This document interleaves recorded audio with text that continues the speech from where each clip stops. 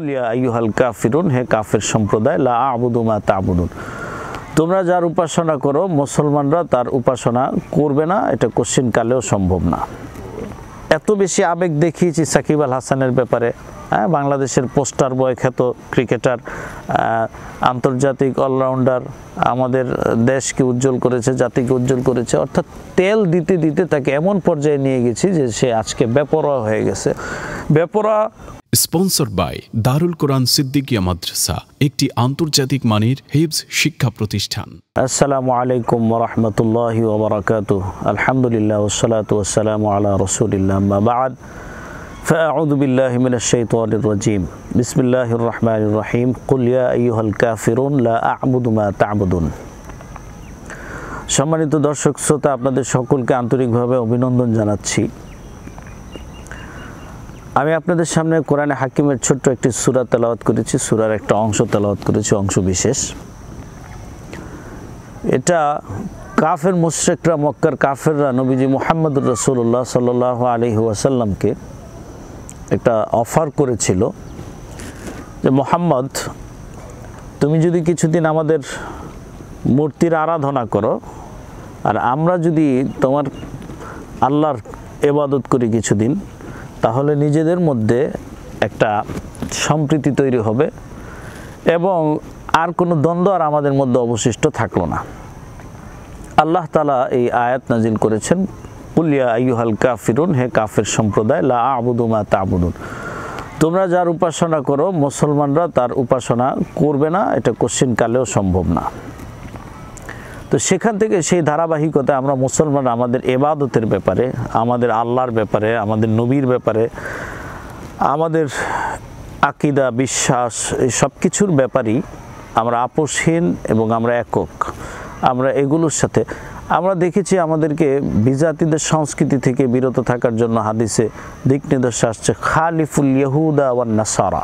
যে তোমরা ইহুদ নাসারাদের সভ্যতা সংস্কৃতির বিপরীতে নিজেদেরকে প্রতিষ্ঠা করো। মুসলিম শরীফে এক হাদিসে আসছে মান্তাসাব্বাহাবি কমিন ফাহুয়া মিনহু। যে যে জাতির অনুসরণ করবে, সে সে জাতির অন্তর্ভুক্ত হয়ে হাসরের ময়দানে উত্থিত হবে। তো সাম্প্রতিক সময়ে অত্যন্ত দুঃখজনক একটি বিষয় হচ্ছে আমরা সোশ্যাল মিডিয়ায় বিষয়টাকে ভাইরাল হিসেবে দেখছি যে আমাদের বাংলাদেশের একজন ক্রিকেটার যিনি আন্তর্জাতিক তারকা খ্যাতি পেয়েছেন, তারকার তকমা পেয়েছেন সাকিব আল হাসান।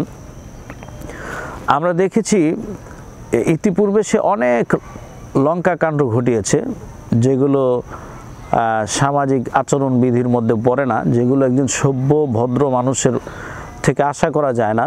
আর সে যেহেতু সেলিব্রিটি একজন গ্র্যাজুয়েট মানুষ, তার থেকে আরও কঠিন সে বিষয়টা।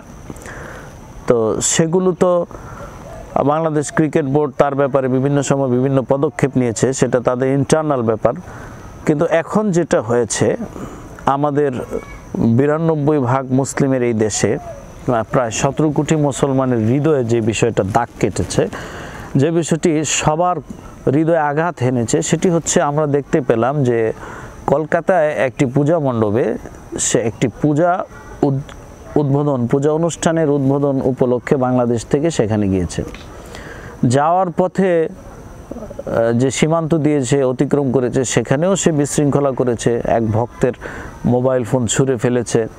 অর্থাৎ এখানে আমি বলব যে আমাদের অতি আবেগ এখানে অপরাধী। কারণ আমরা তাকে এত বেশি ইমোশন দেখিয়েছি, এত আবেগ দেখিয়েছি, একেবারে আমাদের পার্শ্ববর্তী দেশ ভারত, সেখানে ক্রিকেট নিয়ে অনেক আবেগ দেখানো হয় এবং আবেগ দেখাতে দেখে তারা সচিন টেন্ডুলকারকে একটা পর্যায়ে দেবতাই বলে ফেলে। তো আমরাও এত বেশি আবেগ দেখিয়েছি সাকিব আল হাসানের ব্যাপারে। হ্যাঁ বাংলাদেশের পোস্টার বয় খ্যাত ক্রিকেটার আন্তর্জাতিক অলরাউন্ডার, আমাদের দেশকে উজ্জ্বল করেছে, জাতিকে উজ্জ্বল করেছে, অর্থাৎ তেল দিতে দিতে তাকে এমন পর্যায়ে নিয়ে গেছি যে সে আজকে বেপরোয়া হয়ে গেছে। বেপরোয়া হয়েছে বিভিন্ন বিষয়ে, কিন্তু সর্বশেষ যে ধর্মের ব্যাপারে বেপরোয়া হয়েছে, এটা অবশ্যই এই দেশের সতেরো কোটি মুসলমান ক্ষমা করবে না তাকে। আমরা আশা করব অতি দ্রুত সময়ে সে তার এই বিষয়ের জন্য জাতির কাছে অনুতপ্ততা প্রকাশ করবে, দুঃখ স্বীকার করে নেবে।